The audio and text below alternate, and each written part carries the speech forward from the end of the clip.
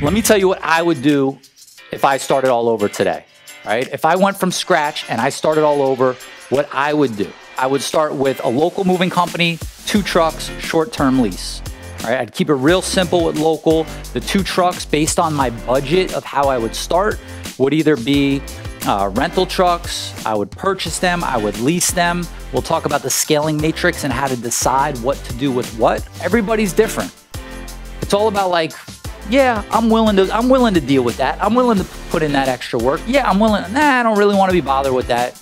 I'll do it this way. I'm happy with making that kind of money. You know, one of the first questions I ask people that I work with privately is, how much money do you want to make? That's going to kind of determine how we need to structure your path of where you're going.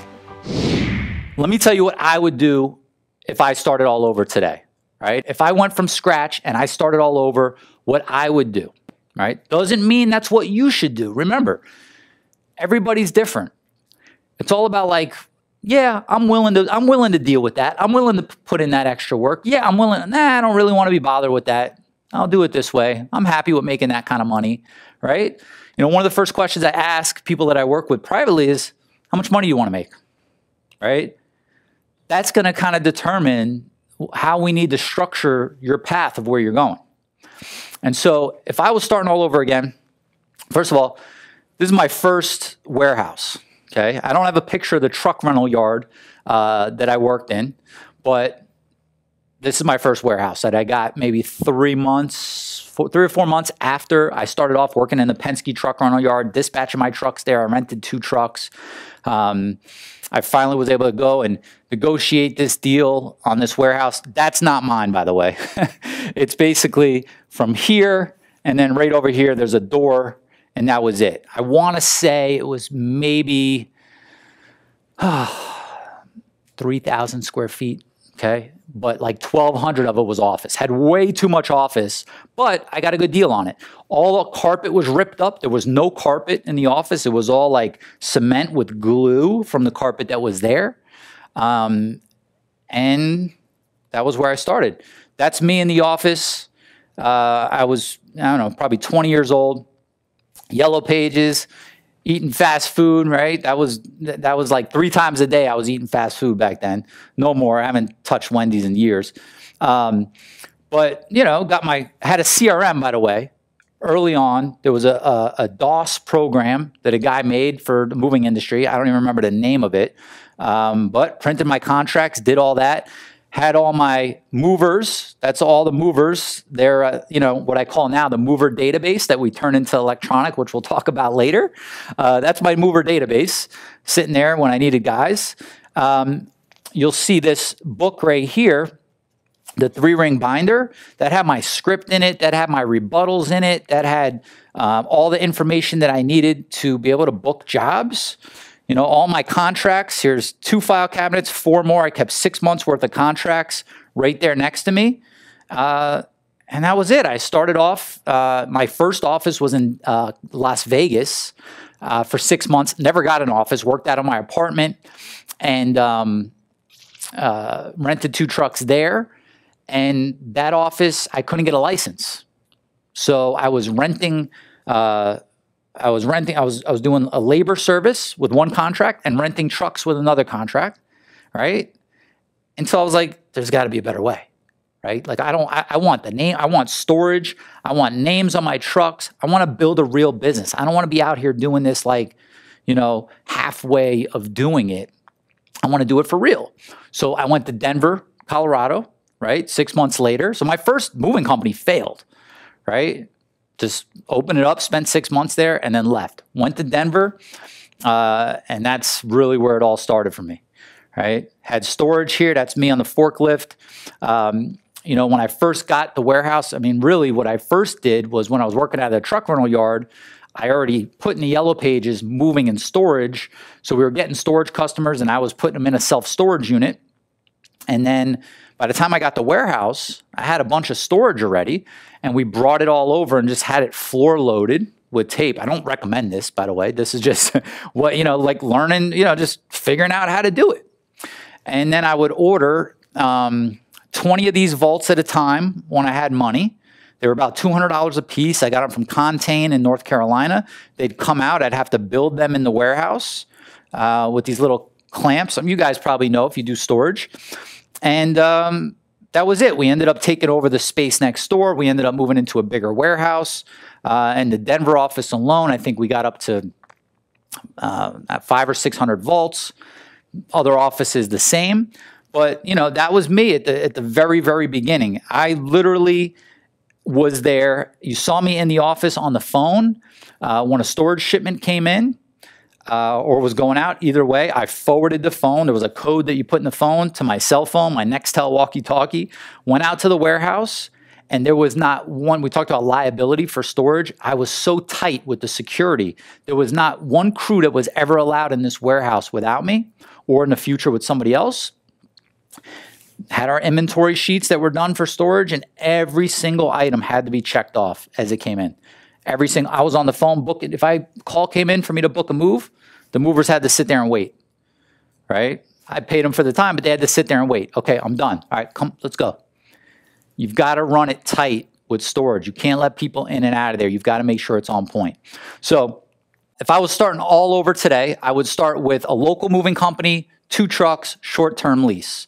Right, I'd keep it real simple with local. The two trucks, based on my budget of how I would start, would either be uh, rental trucks, I would purchase them, I would lease them. We'll talk about the scaling matrix and how to decide what to do with what. But at the end of the day, you could start with two rental trucks. I started with two rental trucks. I know a lot of people that started with two rental trucks. I would do a short term office lease. And the reason you want to do a short term office lease is because you want to be in a position, when I say short term, a year, two years, as low as you could get them. All the landlords, they're going to want three years, they're going to want five years. But the thing is, if, if you're going to commit to that kind of time, you need something bigger to grow into, right? But you don't want to pay that up front. Always try to negotiate some upfront free rent, right?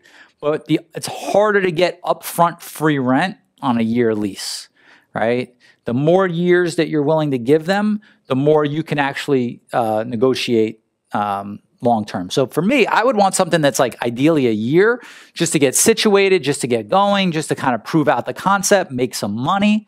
Uh, and then I would move into kind of a more of a long term facility that I'd be willing to uh, commit to a, uh, a longer term and negotiate some free upfront. Okay. I would also start this based on like where I live.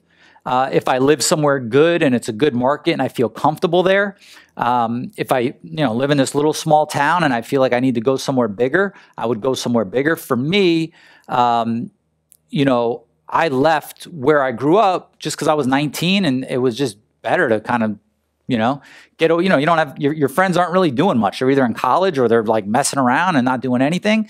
And you know it's it's i went somewhere else right and I ended up recruiting a bunch of them anyways uh, to work for me. But uh, I would start either where you are or identify a market that you want to move to and go there. I would hire and train a dispatcher and a moving consultant right away, right?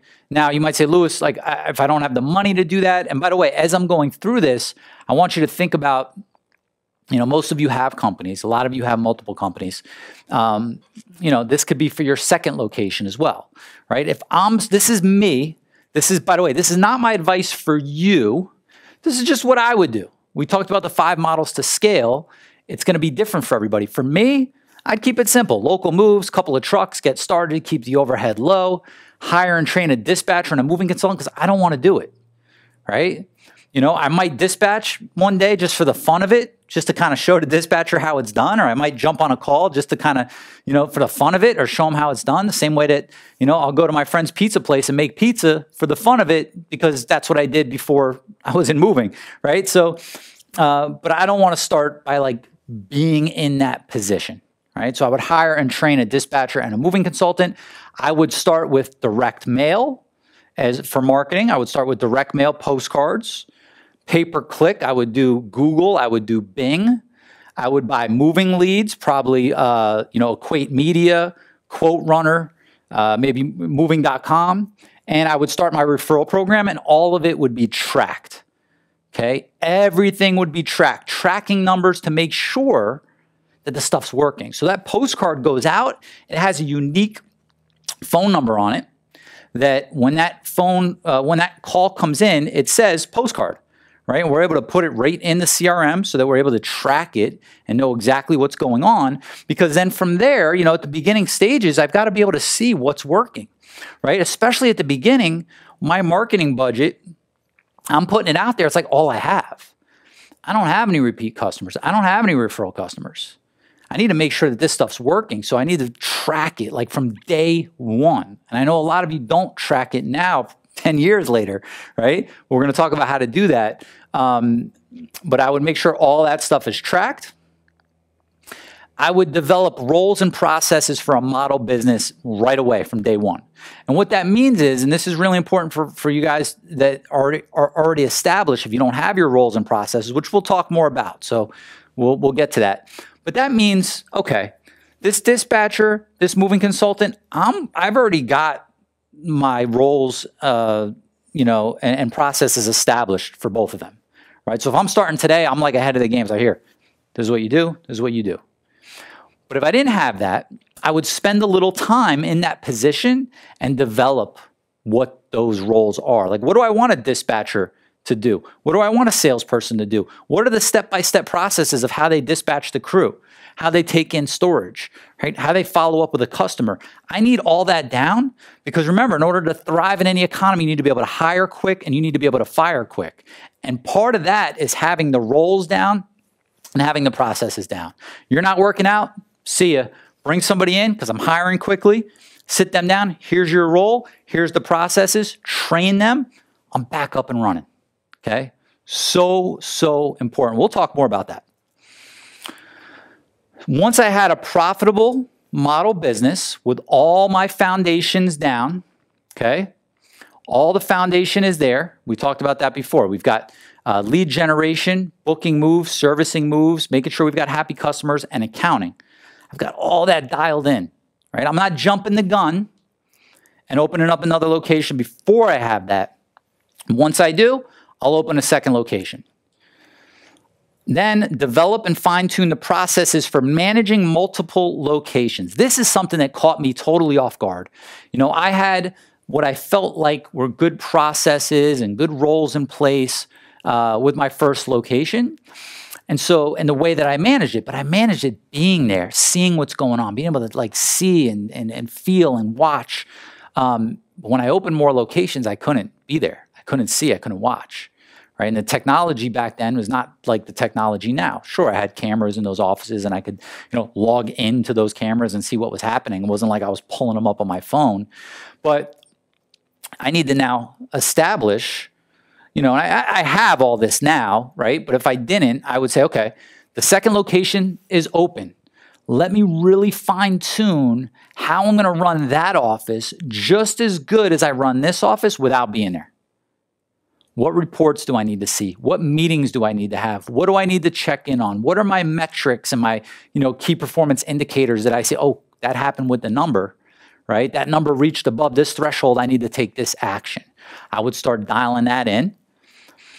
I would then hire a manager slash COO to run the day to day operations. It's a little too early right now to decide like what caliber um, I would want, right? You know, sometimes you, you can't have it totally planned out. You've kind of kind of get to a place, see where you're at, see how it's going, and then decide. But I want someone that's going to run the day to day of not only the existing company, but the new offices, right? And now, you know, I already have it, but if I didn't, I would want to establish what that is. But what that would be, that role, would be a role that I would be uh, establishing here in number six, right? Because I would personally go, okay, this is how I'm managing this. This needs to be done every day. This needs to be checked. I need to look at these reports. I need to go in the CRM and do that. I need to make sure this is happening.